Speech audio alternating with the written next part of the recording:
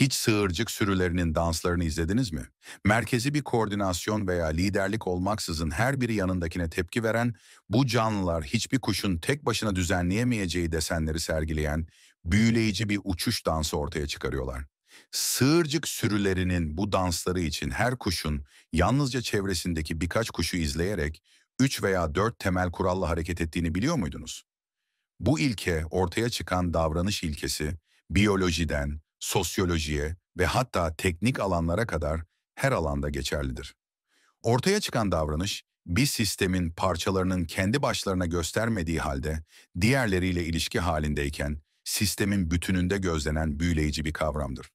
Bu özellikler veya davranışlar ancak parçalar daha geniş bir bütün içinde etkileşime girdiğinde ortaya çıkıyor. Basit kurallar karmaşık davranışlara yol açıyor.